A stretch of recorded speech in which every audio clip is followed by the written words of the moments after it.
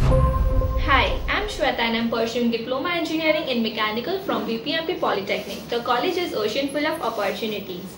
Basically, the college develops the skills which every parent wants to be there in their world. And yes, the faculties are so supportive. They make the complicated topics in the subjects easier.